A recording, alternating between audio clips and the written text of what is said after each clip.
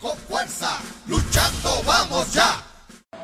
Estimados afiliados y afiliadas a la Asociación Nacional de Educadores y Educadoras, ANDE, les habla Gilberto Cascante, su presidente. Hoy estamos haciendo un llamado, un llamado importante, un llamado histórico.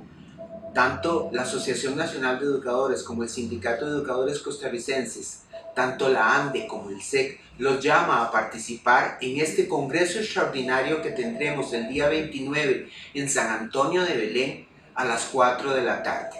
Su presencia es importante. ¿Por qué? Porque vamos a decidir la salida del movimiento de huelga. La ANDE ni está poniendo cortinas de humo, ni está poniendo trabas. Vamos en contra y vamos con todo contra el proyecto 20.580 o combo fiscal.